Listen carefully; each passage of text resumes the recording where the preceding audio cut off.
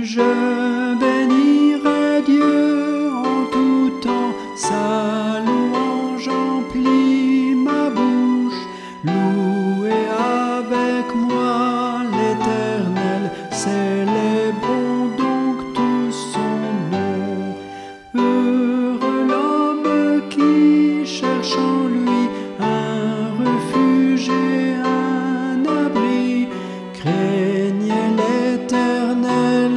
Ses saints, il vous rassasie de bien.